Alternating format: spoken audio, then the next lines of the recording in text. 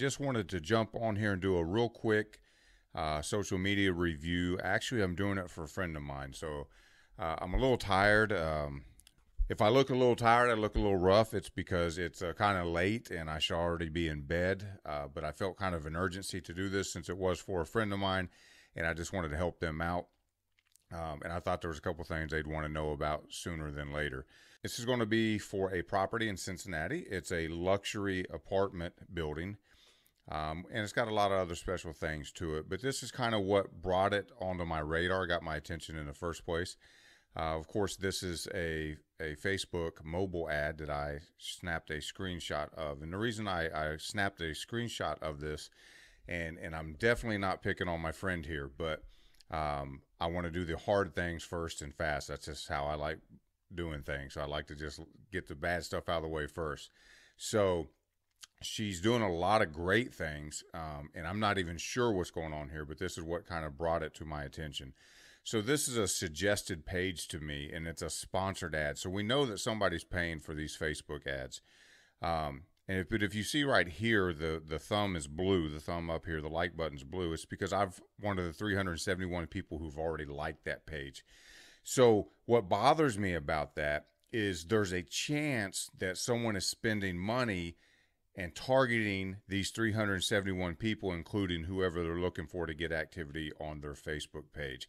To me, that's a waste of money uh, to spend money. I've already liked it, so you don't need to suggest that page to me.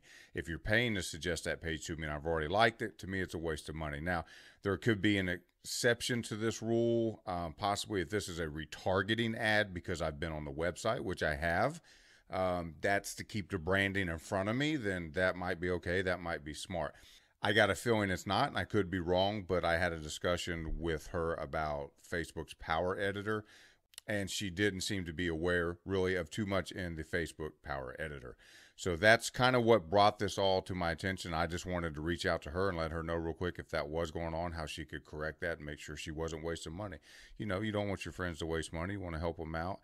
Um, and then so I just went ahead and decided to help out in some other ways. So another thing that caught my attention tonight and kind of really got me um, thinking I better do this before I go to bed. Um, even though I'm so tired, I've been getting up early for the gym and and doing this this intermittent fasting, and man, I just have no energy.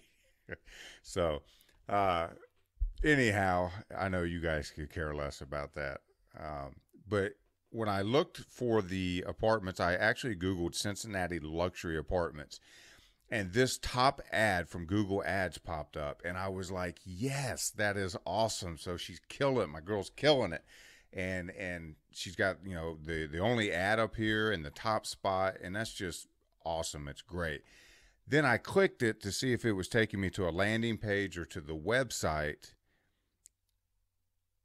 And bam, the page can't be found. So now I've got two items that I'm in question are they spending money for ads to show them to people who already like the page?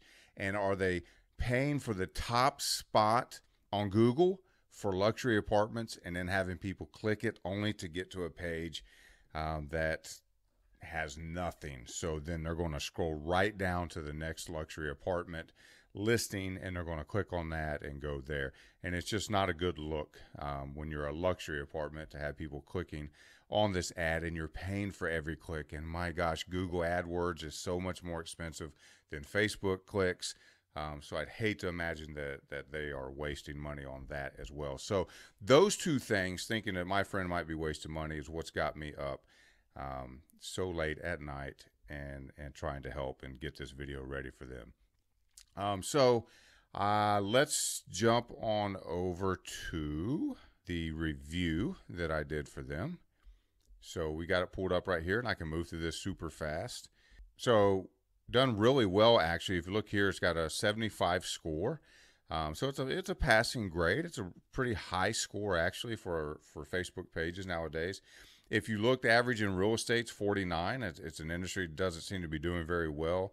Um, similar brands 49 and then average like rate 52 so well ahead of the competition are there better facebook pages out there for luxury apartments and apartment complexes and real estate absolutely there's some that go all the way up to 100 i saw um, but definitely above mark and above on average. So kudos to you there. You're doing very well on that. Not a lot of red X's over here. You can see too. I mean, you got the page name set up. You um, set your picture category, you username. You've got your website listed. You've got the about information filled out. You've liked ten other pages. Most social media uh, business pages that I review um, don't like any other pages. So that's great. Now, one thing I will suggest and drive home on that is that you need to, especially at your building, because I know that you've got other restaurants that and shopping and stuff that inhabit that building and are neighbors. I would talk to them and say how important it is that as at 580 you like their restaurant promotions you like their shopping promotions you like stuff and comment on their page. Their customers are going to see your comments and your like and it's going to make them jump over to your page.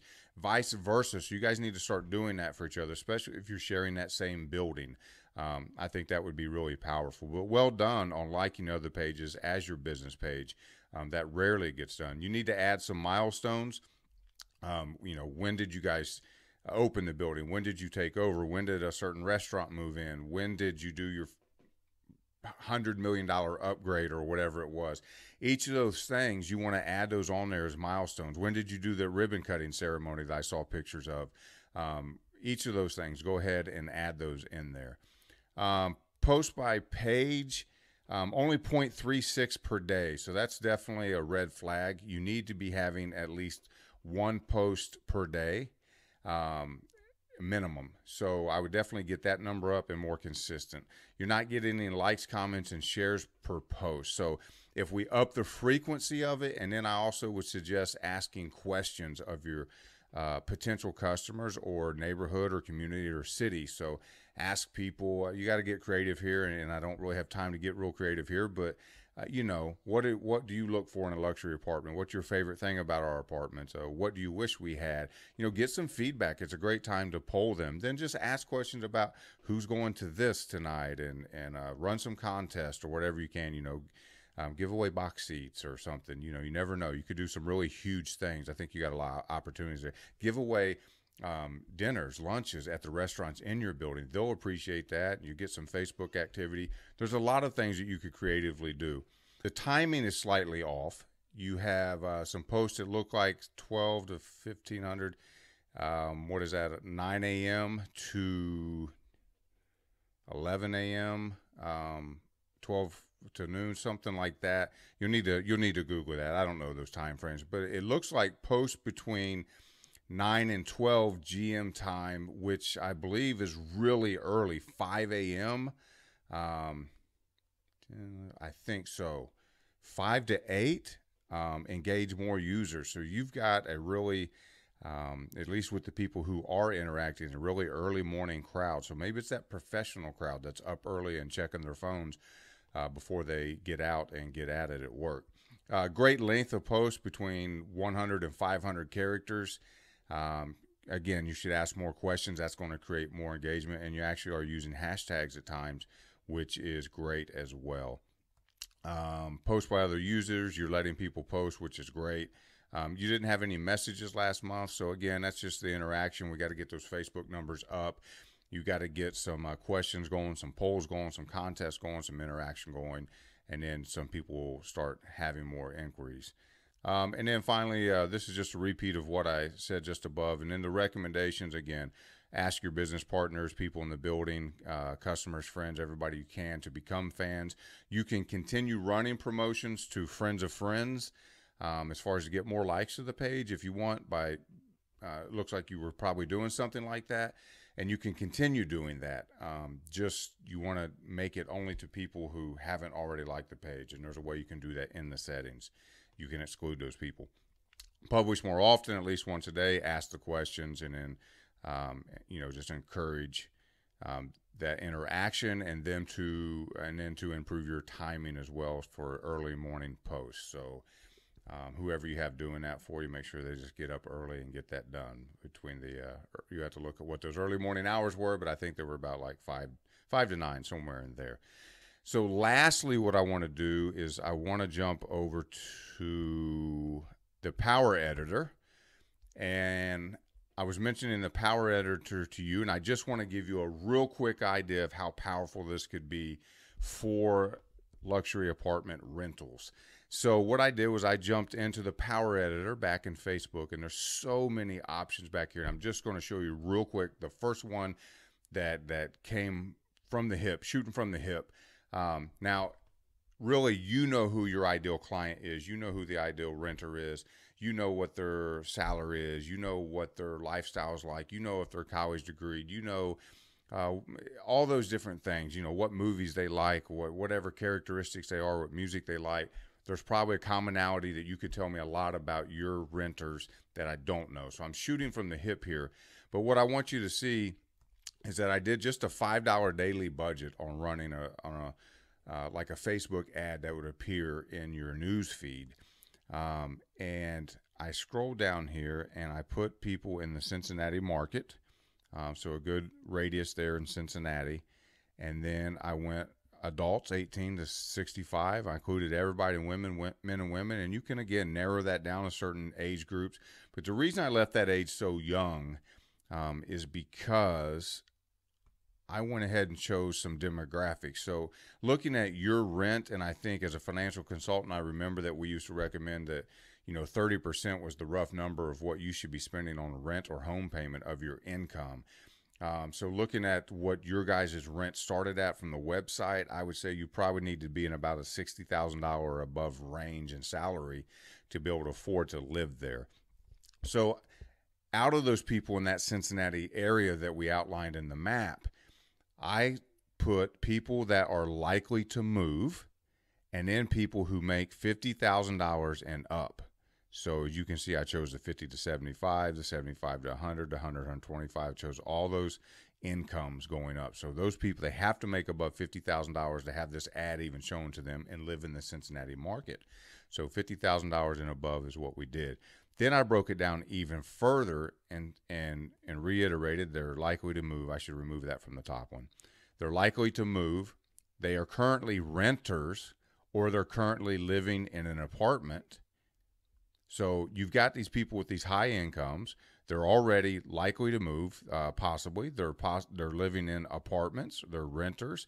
They've been on the apartment finders, apartment rents, apartment guide, apartment list, apartment search websites and Facebook pages recently uh, for rent.com, etc. And you can keep going through that deeper and deeper and deeper.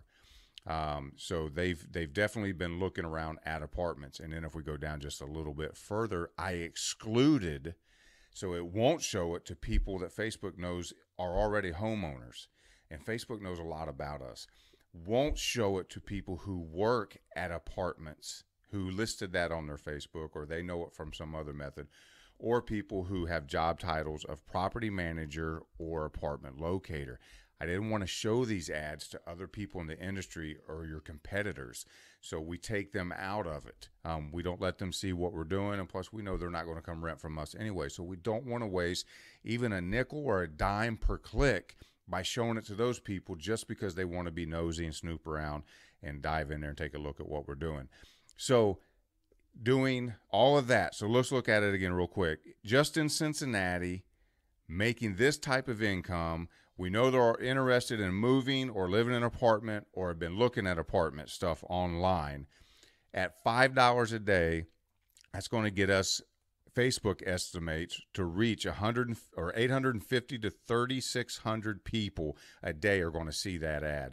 That market that we're talking about, there's 160,000 people in it that make that income that are that are looking at apartments or already live in an apartment and seem like they're ready to move minus your competitors. 160,000 people. It's going to take a lot of money on Facebook to exhaust that market. 160,000 people is a pretty big uh, pond to, to shoot for fish in. Um, again so 850 3600 daily reach at $5 um, probably they're estimating you'll get 8 to 51 clicks. So to make this real powerful you can up that budget you can lower that budget you can make it three dollars a day a dollar a day for 30 days you can go up to 10 20 30 dollars a day however you want what i would suggest one of the things too and this is going to get real complicated and real deep and this is what i'll end on you can put a pixel a retargeting pixel on your website You can run these ads. Anybody that clicks on the ad and goes to your website, you basically will have them captured. Uh, that you can retarget them with other ads. They've been to your website, so you know they're interested, and then you can make new ads that only go to people who have visited your website. So once you get, you know, a thousand people that visited or two thousand, whatever, in a couple months, then you can just begin to show ads just to those people. It's super powerful. You also can upload that that kind of retargeting information to Facebook and say without going through all these demographics and just say find me an audience that looks like this audience and it will take that information and look at those people and then it will build another audience based off that information in the Cincinnati area. So it's got some really super powerful stuff. I just wanted you to see what the potential was eh, back there in Power Editor if you didn't know. But mostly, I wanted to make sure also um, you've done an outstanding job on, on the Facebook page and the Google ads. But those couple little things I worry you might be wasting money on, I wanted to make sure you wasn't. So I hope that helps you my friend, and I hope that helps anybody else that watches, uh, especially if you're some type of apartment manager um, or renter or facilities manager or property apartment locator finder, whatever all your titles are, property manager. See, I'm so tired.